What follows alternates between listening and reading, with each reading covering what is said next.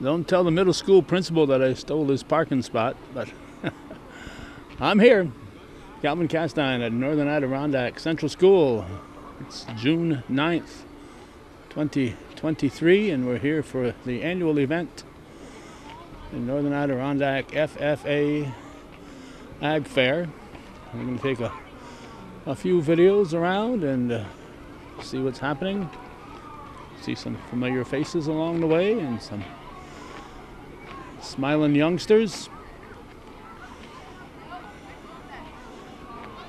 All the elementary grades uh, get at least one trip out to the to the happenings here, so they can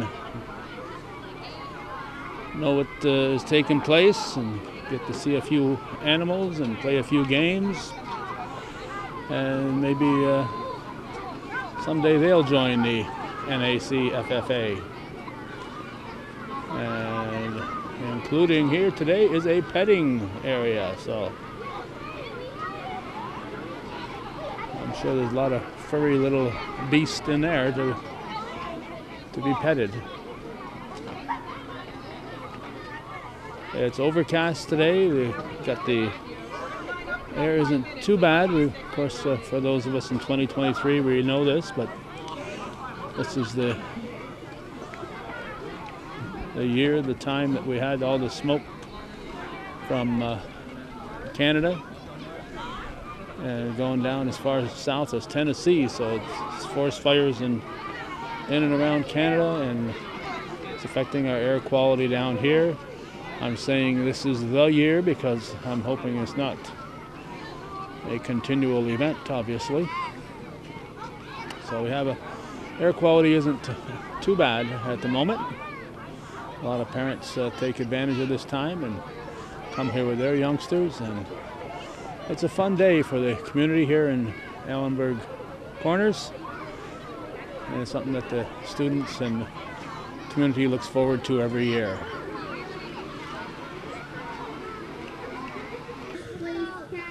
All right, a place I always plan on visiting here because I get cheese out of the, the venture. Yes. it's here. Agrimark Family Dairy Farm. yes. What do you know about that? Uh, Agrimark owns Cabot and McCadam. They they make cheese in Vermont and make cheese in New York State. And some right over there in Chateaugay, They do. That, that's where, where I'm from. All right, what's your name? Kevin Leahy. All right, are you from Chateaugay or? No, you, I'm actually from 11. I'm live 11 miles west of Malone, just off 11B. Okay, uh, I take 11B when I'm going to Potsdam. Okay. Okay. yeah, I'm a milk inspector. I, I cover Franklin and Clinton County, and inspect the farms to make sure that they have good quality milk. So that keeps you hopping. It does. It does. I know your predecessor used to come here uh, every year. And, Sean. Yeah. Yes, Sean is uh, having carpal tunnel surgery today. Oh, so. okay. Well, wish him luck. Uh, Yep. Yep. Uh, so this is. Uh, you go to these kind of fairs very often? Or Yes, we nice uh, break. we had a farm tour at Poppy Dale's on Monday in Chateaugay. Okay. Yep, all the, all the kids from Chateaugay Central School come over and, and toured the farm on Monday. Okay. I hope you brought adequate supplies here. Oh, of, we, uh, we did, we did. yep, it's a good event, and it's uh, it's what children need. Yes. Uh, I've gone on record before that Seriously Sharp is my favorite cheese. It so, is, it's very good, very good. So I assume you have Seriously Sharp here today. I think we have just the sharp today Oh, because just the Sharp. that's Oh, uh, what comes in the three quarter ounce bars. But uh, okay.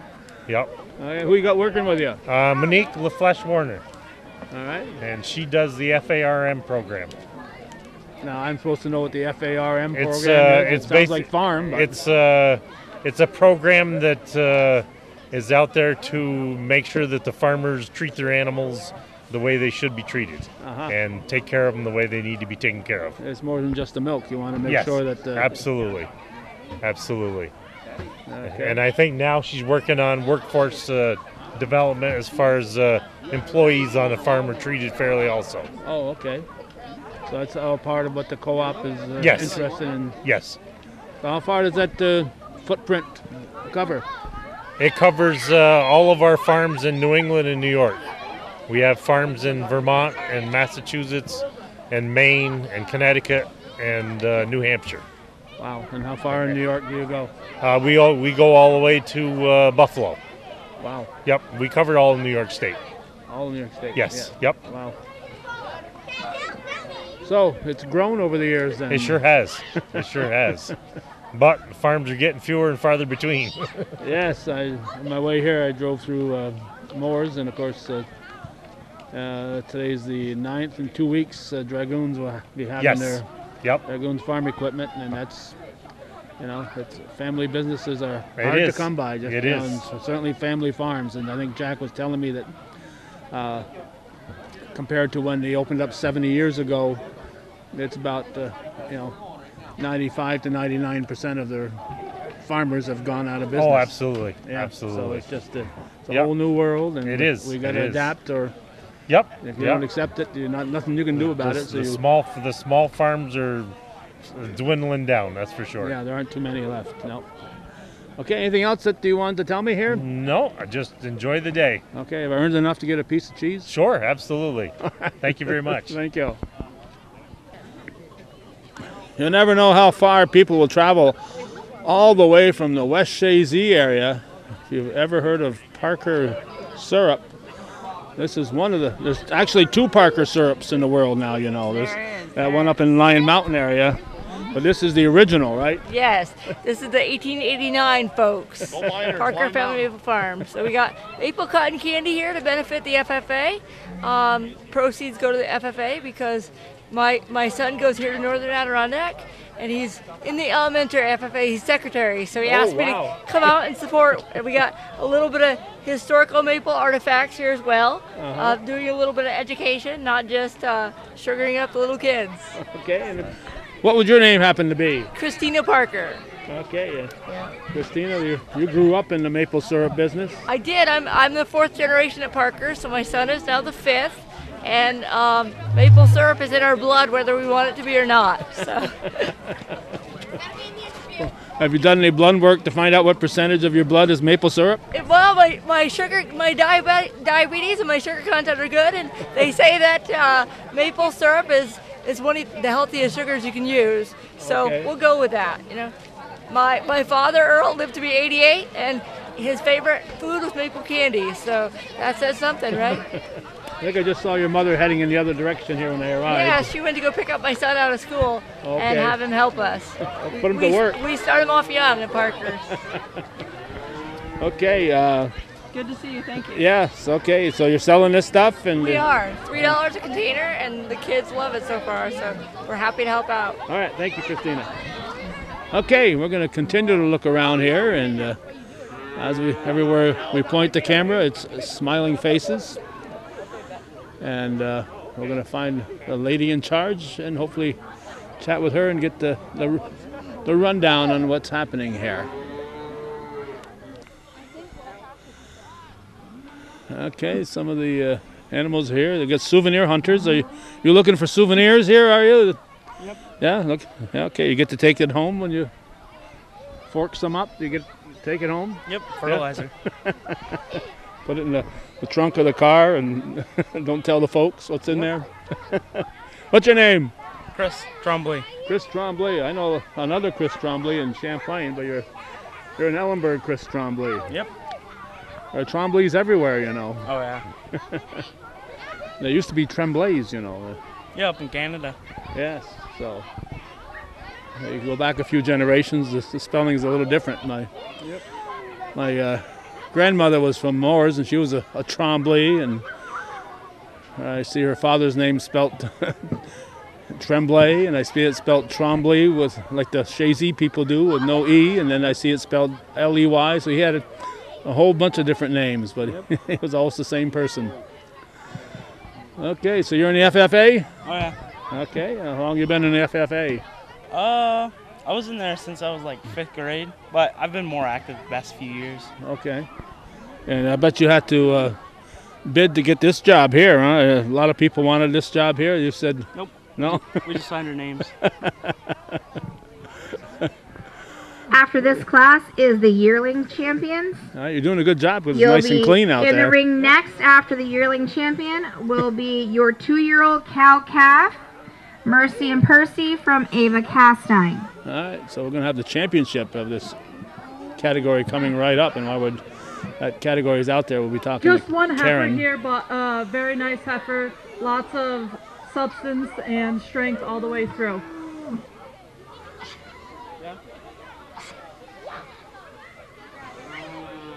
Okay. Congratulations to Noah Gilmore. Now we're going to get the championship of this round. And hopefully we'll be able to chat with the lady in charge. Uh, looks like Laura. In the ring now is your yearling champion. Oh, looking at Laura Phillips over there. Laura Nutt. You have and, uh, Nova from Ava Castine, she brought a youngster with her. Crescent from Kendall Trombley, and Gypsy from Noah Gilmore. After the yearling champion, we're going to go into our cow calf champion, cow calf, Mercy and Percy from Ava Castine, and then Sugar Cube and Spartan from Brie Perrier. All right, very fancy names in some of the upcoming contestants here. I was saying, uh, Laura's here with, she's a teacher here, and she looks like she brought one of her, her children along to experience today. Homer Bushy first got us, uh, he used to be the ag teacher here at FFA, here at uh, Northern Adirondack, and he's the one who first got us involved, and I know he's still heavily involved. He, helps out at the county fair, and uh, Homer's still very much involved in what's happening in and around with the FFA situation. All right, we have the lady in charge now. What's your? You're, you're not a student, right? No, I'm not a student anymore. Not anymore. It's been a few years. but you're still learning, though, right? Still learning. We're always learning as we get older. All right, what's your name? My name's Karen the Bombard. All right, and Karen. Uh, this is the yearling This is the grand champion. this is the yearling champion class right now for the beef. Okay, now tell us what we're looking at. Is that a black Angus in the front? That here? is a black Angus in front, All right, the next one I'd be hard to guess what and that is a is a shorthorn a shorthorn, huh? and a Hereford. And a Hereford. All right. Okay, no longhorns. No longhorns. Nope, no longhorns today. Have you ever had a longhorn in this? No, we have not. All right, Not in my. get some Texas people I know, here right? Maybe they could bring some warmer weather too. Okay, so this uh, event was a couple years that you didn't have it, or Uh, a couple years during COVID, we didn't have the event, so this is our this will this is the 61st uh, FFA school fair. time marches on, huh? Yes, it does. and it's something you know it's something the whole community looks forward to you know you get people who are students here uh, come back uh, go two three generations Yep, and you know, former former alumni come back and they they help. I have a lot of alumni that are here helping today, helping run the run everything. Without them, it would be hard to do. and you got uh, all these youngsters coming up um, i imagine this helps uh, get a, a few people involved uh, you know, the kids involved when they come here and they experience this and it makes them look forward to someday i'll be big enough to uh, Yes, yes, we're we're now starting them off in the fourth grade, um, and we have a fourth and fourth and fifth grade chapter with about 60, 60 kids that we meet usually once a month throughout the school year, and there's a y- lot of younger kids showing right now. and of course it's more than just cattle you, you do the whole gamut Yep, we have, we have cattle, we have um, the small animals that are in my ag room. Um, a lot of kids are involved in different things. We have the ma- we have the maple kids here today doing stuff. Uh, so we have a variety of students that do a lot of different things. We have kids that are in plant science. Um, all kinds of different avenues that we can go into now these days for agriculture. Yes, I think last year I bought some tomato plants here because you, Yeah. if you had, There's some beautiful cucumber plants over there right now if you're looking to for some cucumbers too. so you can do your summer shopping right here at this ag Abs- fair. Absolutely. Now today's the uh, second uh, Friday in June. It's usually roughly around this time, right? Um, normally we usually have it around the end of May, but we had to kind of switch things around. Um, I do like it at the later part of um, of the school year. Uh, it's, it's a lot less chaos for some of the kids. So And uh, the further you go along in the in the year, the more chance of getting decent weather. Yes, yes. So luckily today it started off a little rainy, and now the sun's coming out, which is a round which is a, which is good. Okay. You just walk, And you got judge. Where's your heifer around the judges from today? Our judges are from uh, North Bangor Keep the ball area today, so that's Mike There's Maloney and Alyssa three Aubin. Really, really nice heifers out here today. For Anything me else you'd like to tell us, first Karen, as we wander it's- around? It's mass and substance all Uh, the way through. The go through, uh, go really through and look at all the legs, animals uh, and look at all the different exhibits the kids have put. They put a lot of time and work into their animals and everything that they're exhibiting today. Go and enjoy some delicious of feet and legs food from our but it is from a Phelan and Debbie Miner, who are for who are champion. cooks and they always do a great job for us. Okay, I'll And there's some there. delicious maple cotton candy over there too. Yes, so. Congratulations to Ava Castine uh, for being the yearling uh, champion. Point out to And the people in the community, your you're welcome to show up here. Absolutely, this is a public event. Come on and support the kids. Mercy Yeah, so and next Percy. year, look at that FFA, uh, NAC FFA Ag uh, uh, And the ring Facebook page, and you can Yep. find a will date. be Yep, absolutely. plan on calf. coming. Bree right, I'll let you with get back to Sugar All right, thank you. Thank you, Karen. All right, we will continue to wander around, and we'll have to buy a Michigan from our buddy Phelan before we leave here. But uh, as I said, a lot of familiar faces when we show up at this. Uh, people we've been seeing for the past uh, 30 plus years when we've come to these, and uh, it's just a, a great event for the students. And as I said, I can't em- overemphasize a great community event. And if you get in line, you can get some Cabot cheese.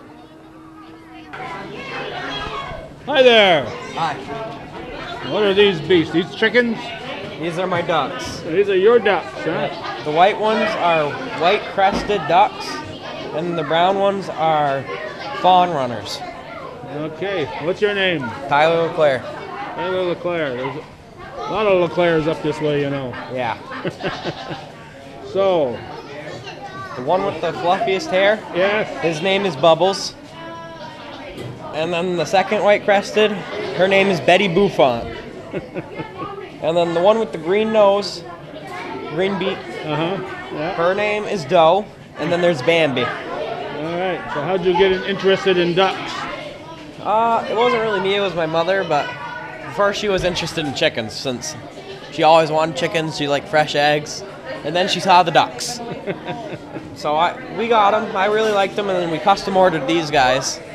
Costed us quite a bit, but they're honestly pretty nice All to have. How many of them are are egg layers? Uh, none of these right now are egg layers, they're still a bit too young. Okay. We have two ducks back at home, uh, two cayugas, and they're egg layers. They're the only duck egg layers that we have. And then we have three chickens that are egg laying right now. And then we have 15 chickens that are too young still. Okay. Now, I know chickens lay. If they're good chickens, they'll lay one egg a day. Uh, how about the ducks? How often do they lay an egg? Uh, like the chickens, it's one to two a day. Is it? Yeah. If either they lay early, really early in the morning, and really late, or right around midday. Yeah, you keep them well fed then. Yeah. They're spoiled. I got them a whole thing of treats to give them out. Uh, We have lettuce and mealworms, pears, apple, and cucumbers. all right. Look how popular they are with the kids there. Yeah, I've, I've had quite a few people stop by. I think they could use a bigger, uh, a bigger swimming pool, though. What do you think? yeah, we have three at home, and they all use their own separate pools. They're dirty though. They have to water has to be replaced multiple times a day. We just replaced them, and they're already getting this one dirty. So you're saying they're a lot of work. You gotta, you gotta like them to, to You gotta like them to have them. yes. And uh, it probably costs you more in feed than what you're getting out of them in eggs. Uh, yeah, but it's a nice thing to have That's still. right. Yeah, you get pets, you know. Because there's the times when stuff gets too pricey, and it's nice to not have to go to the store for stuff. Right. Okay, well, we'll let you get back here to. Oh, that one there is flapping his wings there. Thank you for chatting with us. Yep. Okay, we'll continue right along here. Look at this young duck lover here. No farms, no food. And it looked like that could be a black Angus right there, and they've got all kinds of animals here. Pigs. These do not feed or touch any animals. Who's in charge here? You're in charge. That guy there pointed right at you here. I used to buy cough drops called Smith Brothers, and the Smith Brothers both had beards just like that. You're not a Smith though. No. No, who are you? Um, I'm Madison relation. Madison relation. And what are these lovely They're- beasts? They're Berkshire pigs. Is this as big as they're going to get? No, not even close. They're only like 12 weeks old. 12 weeks old, so there must be a mother at your place that uh, Nope, we went and picked them up. you went and picked them up. You adopted a couple of pigs. Yep. Okay. And is the only pigs you own? We have two other ones. Yeah, the other one. The other ones are a different breed.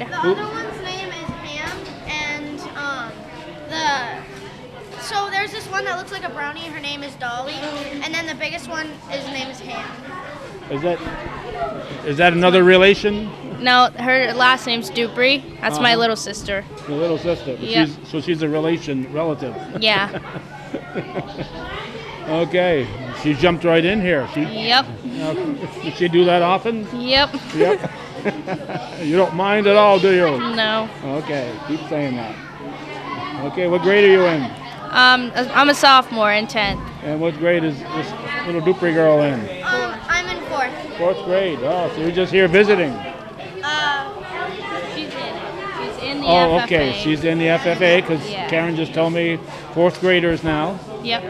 And so she's got the day off, so to speak, here. Yep. Putting her to work. Making her scoop the poop. Scoop the poop. All right, another friend. She's making her friends famous. Anything else you'd like to tell us? Um, I don't think so. don't think so? I All think right. that's it. Thank you. Thank you very much. Moving right along here as we where we left there are youngsters and there are, there's a rabbit. Not sure if it's a wascally rabbit or not, but there is a rabbit. And some birds here, scarlet and sparkles. A couple of chicken varieties. Another rabbit over this way. And down here, part of the petting area. Please do not feed or touch. Well, how can they call this a petting area here? A couple of goats, including a very tiny one right there. Very tiny one that's enjoying that that hay. And the bigger one is really not big.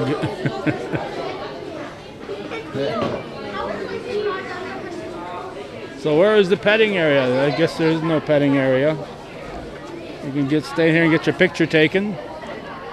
So it says petting zoo, but uh, uh, for the most part, maybe the that little heifer they could they could pet that one. Kids are still arriving. When we got here, the kids were some kids were going back into the school, so they'd come for an early visit, and and now we got uh, kids arriving here, and every one of them with a smile on their face. All right, we stopped into the busiest booth in town here. I, I first met this fella here. He was flipping pancakes for Jack Dragoon. Many years ago. and look how he's gone. Look how he's proved here. He's flipping burgers now. Boy, you've come a long way, Phelan. I guess so. okay. I was told to come visit this booth. Who you got working with you? This is my bun man. Your bun man. Who's your bun man? Tim Alden. Okay, and who's that young lady over there? That's your daughter? That's my beautiful bride of 45 years. Oh my gosh. and what's and, and what's her name? Huh? See if he remembers that. Deborah. she goes by Debbie though. and you're Phelan. You're you're a minor. Yeah, I'm failing all the time. Yes. He's been feeling from the get-go. Right, Mr. Primo? Yeah, I guess. You've been waiting here for 15 minutes to get your burgers. I'm used Ser- to it. Service is kind of slow here. Well, it's uh, we had to bleed the beef. We gotta wait till the champion is selected. Yeah, we gotta wait for the champion. It was Uh-oh. twitching, so we got rid of it. Uh oh, this is the last year that Phelan works here. okay, there's a steady lineup. They've got my order in there. Hopefully, they're working on it. Working on your cheeseburgers right now. All right, and we're going to uh, probably wrap it up. If I come back, uh, come back for another episode. If I see something on the way through here. So once again, uh, this might be the end, but we never know. Well, if it is, it is. If it ain't, we'll have more to say.